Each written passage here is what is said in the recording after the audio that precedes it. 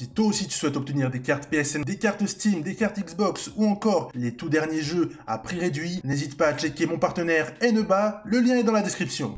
Yo tout le monde, c'est Fatboz, j'espère que vous allez bien. On se retrouve pour une nouvelle vidéo aujourd'hui, vidéo dans laquelle nous allons tester une carte tant convoitée, Jason Tatum Dark Matter Invincible. Si vous êtes nouveau sur la chaîne, bienvenue à vous, n'hésitez pas à vous abonner, petit pouce vers le haut, cela va nous permettre d'avancer, de gagner en visibilité et d'atteindre une nouvelle étape vers les 10 000 abonnés. Grâce aux gars de 2Case et plus précisément grâce à Jagda, pour rappel 2Case, c'est deux amis qui streament ensemble sur Twitch, je vous mets en lien dans la description un lien vers leur chaîne, n'hésitez pas à aller les follow parce que c'est grâce à eux et plus précisément grâce à Jagda, ils sont deux Jagda Amat et c'est Jagda aujourd'hui qui nous permet de faire la revue de Jason Tatum. Merci à lui pour la force, merci pour le soutien. Nous avons la possibilité de faire une revue de Jason Tatum. Jason Tatum que beaucoup, beaucoup, beaucoup de gens espèrent avoir, mais on a l'impression que le palier, que la, la, marche est beaucoup trop haute pour la plupart des joueurs. Rappelons-nous, l'année dernière, je crois que c'était 3000 cartes pour avoir euh, Anthony Davis, si je ne m'abuse. Et là,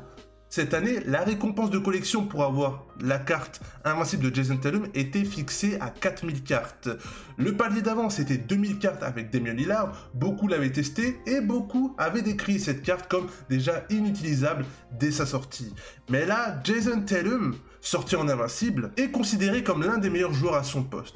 Au même titre que LeBron ou encore Kevin Durant ou Kawhi Leonard, on va voir dans cette vidéo si vraiment Jason Tatum vaut le coup d'être grind. Parce que oui, avoir 4000 cartes, ça nécessite quand même un certain grind. Soit vous mettez la CB, soit vous faites de l'achat-revente, soit vous économisez pendant des jours et des jours DMT pour espérer avoir cette carte tant attendue. Jason Tatum, 2m03, 94 kg. Vous l'avez vu, il peut jouer ça au poste 3, poste 4. Concernant les notes, c'est une carte invincible on va pas s'attarder dessus. Les badges également, 63 badges Hall of Fame, 10 en or. Éventuellement, ce qu'on pourrait lui ajouter, EIR et spécialiste du bras roulé. Spécialiste du bras roulé, sincèrement, on n'en a que faire. Et EIR, si vous êtes sur CureEngine, vous pouvez passer votre chemin. Ce badge se transforme en tireur régulier. Donc il a quasiment rien à ajouter. Comme je le dis de toute façon, plus on avance dans le jeu, plus il va y avoir de cartes invincibles. On est à la fin du jeu, toute fin du jeu maintenant. Euh, la sortie de Tuki 22 se compte en semaine. Donc ce qui va vraiment différencier les cartes invincibles ou toutes les cartes Dark Matter qui sortent, c'est réellement leurs animations. Parce qu'elles ont toutes 99 de notes, et elles ont toutes plus de 60 badges of Fame, donc c'est vraiment les animations qui vont faire la différence. Nous voici en freestyle, bien évidemment, c'est anecdotique. Jason Tatum a toutes les hautes zones, et il possède le Curry Slide. Ce qui va être intéressant, c'est le shoot de Jason Tatum, une base très très saine pour un joueur de son poste, de son calibre, dans la mesure où vous avez une green window très conséquente, très conséquente. Vous avez l'impression qu'il a un jump shot qui lui permet de rester énormément de temps en l'air. Il a un shoot pas hyper rapide en vrai, mais quand je dis il a une base de shoot très saine, c'est que le shoot est vertical et que vous avez tout le temps de vous ajuster pour espérer green et espérer ajuster votre shoot. C'est de là que je m'explique quand je dis qu'il a une base de shoot saine. C'est que il n'y a rien de bizarre dans la mécanique, tout est droit, tout est fluide, tout est vertical, et c'est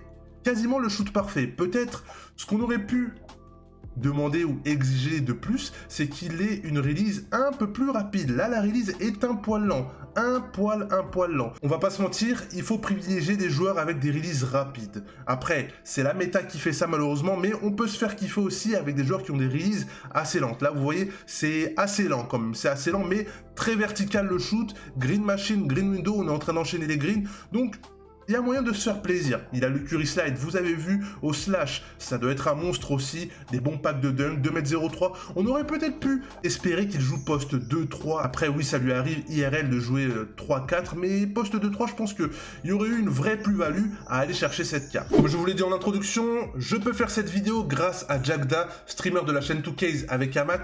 Je vous mets un lien euh, dans la description vers leur chaîne Twitch, n'hésitez pas à aller les follow, leur donner de la force. Il y a de plus en plus de streamers, de créateurs de contenu, c'est hyper incroyable. Si jamais vous aussi, vous souhaitez vous lancer, n'hésitez surtout pas parce que vous allez tout simplement kiffer. Full Celtics, bien évidemment, on a fait avec ce qu'il y avait dans le club, Rajon Rondo, Peyton Pritchard, Jason Tatum, Bill Russell et Taco Fall. Autant dire que là, pour cette review, on a une équipe quand même de Golgoth. À part sur notre ligne arrière, on a quand même une équipe de Golgoth. Donc, on n'a pas le droit à l'erreur. C'est parti, Taco Fall, bien évidemment. On donne tout de suite à Jason Tatum, qui s'en va déborder je croyais que j'allais me faire bâcher. Je croyais que j'allais me faire bâcher. Il a vu, il l'a pas vu. Bon écran, il va sauter. Je le savais Je le savais que sur la fin de départ, il allait sauter et il a sauté. Voilà, bonne prise à deux, parfait. It's over. Oh là là, c'est grand bras. Oh, c'est grand bras. Que va-t-il faire? Oh, mais pourquoi il saute? Ressort, tacofal. C'était juste pour le flex, en vrai, juste pour le flex. Attention, vous savez ce qui peut se passer, là? Vous savez ce qui peut se passer avec ce takeover? It's over. Et là, je perds la balle derrière. Attention, Jason Tatum, il va ressortir. Je préfère mieux ne rien dire. Qui font le jeu? Qui font le jeu juste? Attention, Jason Tatum. Et voilà, la réponse. Et oui, oui, oui, oui, oui, oui, oui. Vous pouvez me starter. La réponse, c'est pour tes deux shoots honteux que tu viens de mettre. Jason Tatum est incroyable, imparable, insane. Regardez, on va s'amuser un peu avec Taco. Amusons-nous avec Taco. Demi-tour au poste. Paf, saute. Arrête. Arrête, panne de départ. Triple menace, jab. Vouf. Accélération. Personne ne peut l'arrêter. Personne ne peut l'arrêter. Il est lent sur la remontée de balle, mais sur le premier pas rapide, lorsqu'il doit blow by, là, il est insane. Là, il est insane. Jamais. Bonne défense. Excellente défense. Et regardez qui est au rebond. Regardez qui est au rebond. Taco Fall. Ha. Curry une fois. Repart à gauche. Oui. Ressort sur Taco. Tout seul, Taco. Ah, attention. Dommage, Taco. J'ai pas ajusté. Allez, on lève les bras. On défend dur. On défend dur sur l'homme. Jamais trop. Merci. Quel, quel travaux de Monsieur Taco Fall. Où est-ce que tu crois aller? Où est-ce que tu crois aller? Curry Ouf. Oh là là, ce décalage saute.